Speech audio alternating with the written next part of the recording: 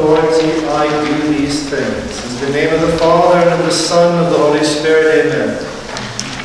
This Gospel of St. Matthew actually picks up where we leave off on Palm Sunday, which is why the first line says that our Lord at the end of it returns and goes back to Bethany. He goes back to stay at the house of Martha, Mary, and Lazarus, of course, who's back home now. It's when he returns the next day, which is Monday, which is why we have the gospel to this day, that we have this confrontation. We have this strange episode with the fig tree.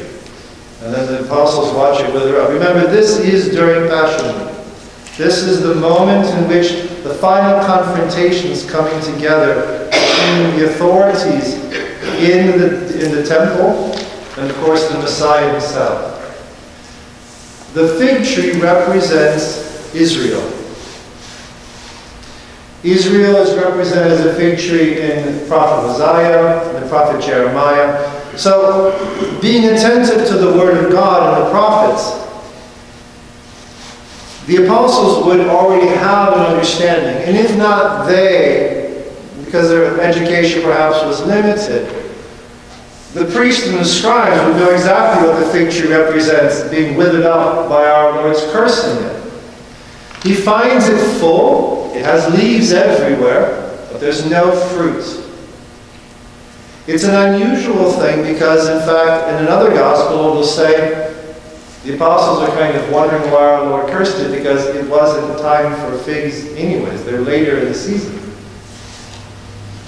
And what our Lord is pointing out is that you must be ready always.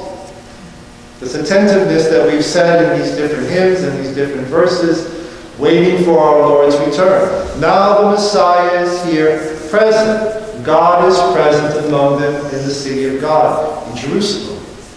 And all he finds is lushness of leaves, but really no fruit, nothing.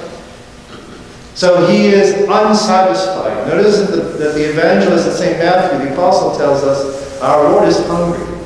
He's looking for satisfaction on the spiritual level. He's looking for the satisfaction, not of himself personally, but that the fruit be produced by Israel, which after all has been led by God for 15 centuries. You think you get it together at some point. And when the Messiah arrives and finds fullness, temple, the most beautiful temple of the three to have been built on the site, leaves, just leaves. So our Lord curses this tree as a symbolism to remind the apostles that the church, the new Israel, will have to pray for profound faith and for this confidence in God to produce fruit by its charity. Do not be like the old assembly, the kahal of the Old Testament, but the new assembly, the new Israel, the body of Christ, has to always be producing fruit.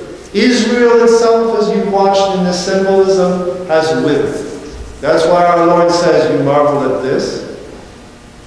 He says, If you were to say to this mountain, is built on a hill. If you were to say to this mountain, Be lifted up and thrown into the sea, it would be done if your faith were such as to accomplish it. So he's reminding the apostles is that you cannot be like Israel has been. This is the clash. This is God himself saying, I am not satisfied with 15 centuries of teachers and prophets and kings and inspired word and the law of Moses and the appearance on Mount Sinai and leading them for an entire two generations throughout the desert for 40 years. I am not pleased. But the priests are in the temple, they're not pleased either. Because they say, everyone's following after them. This is going to tick off the Romans. They're going to come in, abolish our positions, and just take over the whole kingdom. And then where will we be? We're not going to have our nice camps at Jericho. We're not going to be able to have our good salaries from the temple. They are thinking of their personal positions authority, not that they are authorities in the name of God.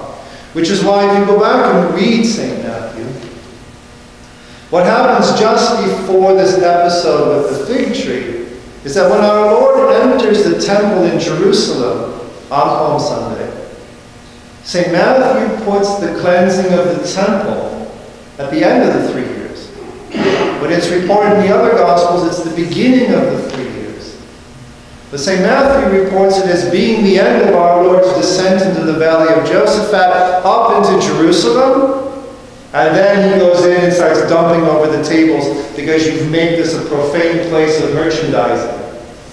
Do you have to remember that what they're doing in the temple, they're not in the holiest place.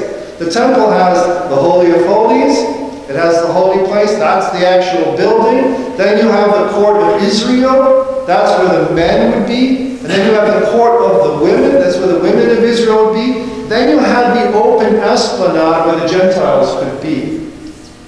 And it's those places and those markets. If you're coming from Libya, if you're coming from Rome, you're not going to carry a lamb with you the whole time. When you arrive, you have money from a different country. You, have you exchange your money like you do when you travel internationally now. This is what they were doing in the Esplanade. And they also had animals for sale. You could buy your doves. You could buy your lambs. You could buy your goats. Whatever you're sacrificing, you could also buy it. But what our Lord pointed out to them is the corruption of their heart. What they're doing in itself was not forbidden. In fact, it was a service to the temple. What he was pointing out was the corruption of their heart is you are doing this personally for your personal gain. These foreigners come in, you get to make something off of it, and you're making more than you should. The same way that the priests are in the temple, and they are worried that Roman authorities are going to come and just simply abolish the whole Judaic system, which of course they do do 40 years later but not because of our Lord. And because of that, our Lord dumps over the tables. That's what he's doing, calling it a den of thieves. You're looking for profit. You're looking to, what does a thief do? A thief obtains things that don't belong to him. He tries to seek a profit for which he has not worked. That's why he calls us a den of thieves. That's what he does on Palm Sunday in the Gospel of St. Matthew. And then we have that beautiful little line, and then he went back to Bethany. So he overturns everything, causes this huge stir, and then goes back and has dinner with Martha, Mary, and Lazarus.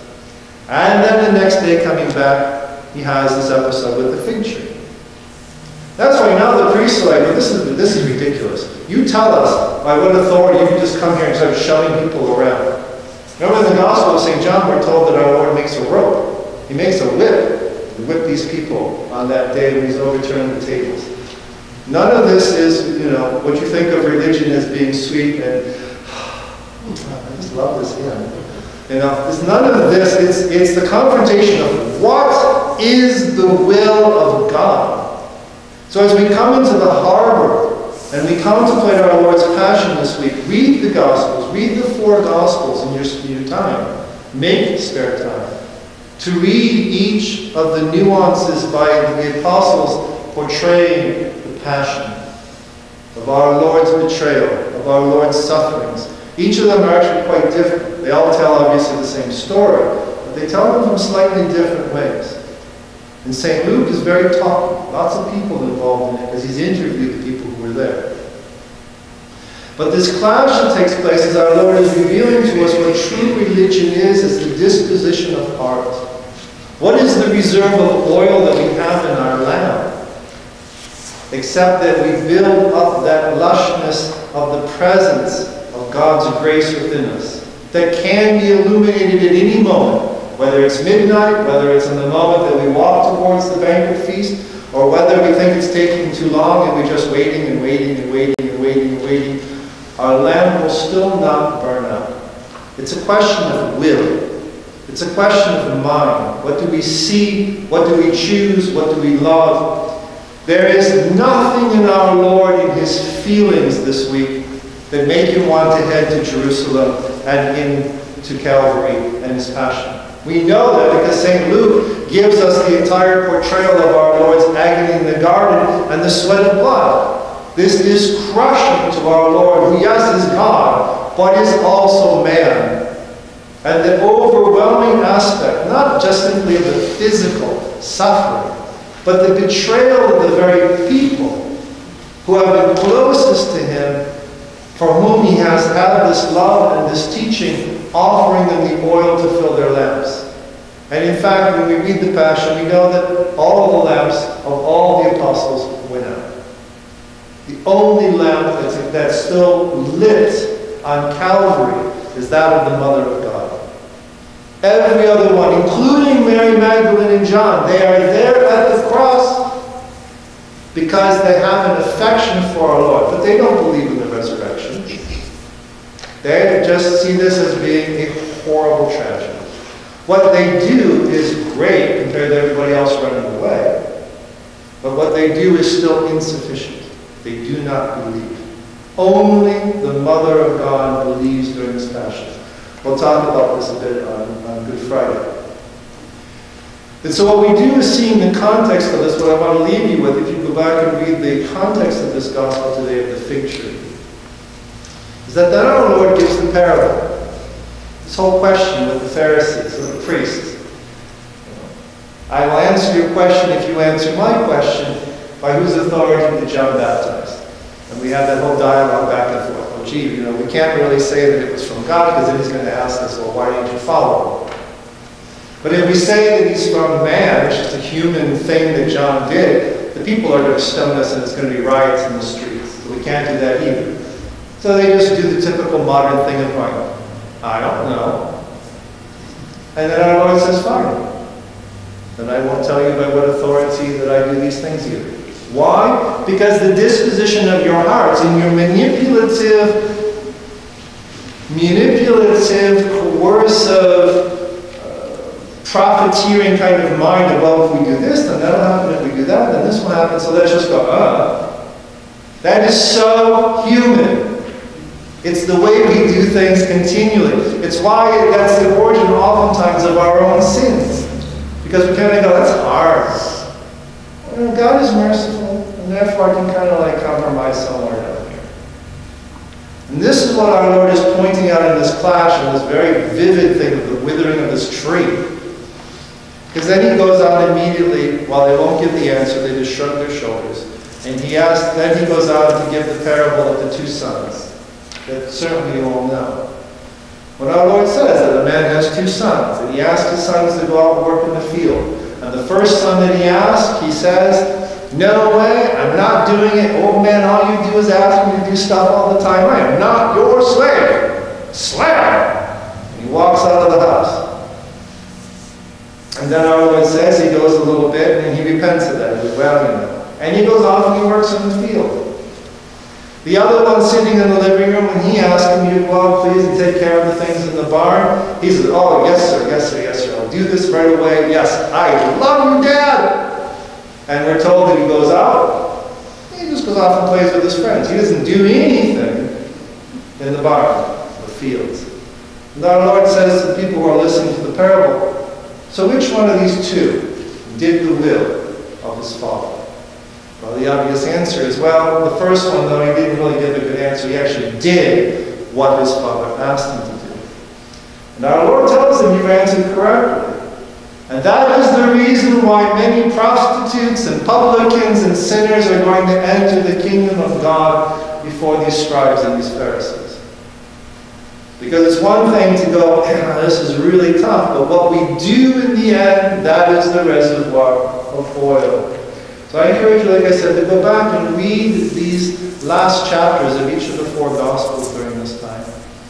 Because our Lord tells us very clearly the gospel, to live the gospel is not easy. It is not something which just happens.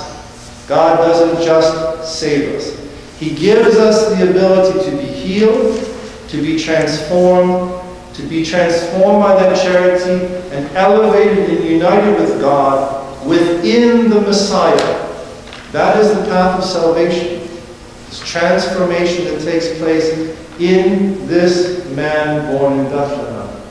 And the Messiah gives us the ability to enter into this transformation, but it requires not only God's grace, but it requires our freedom to engage in that light and to receive the vessels of oil so our lamps do not extinguish before the last day. In the name of the Father, and of the Son, and of the Holy Spirit, amen.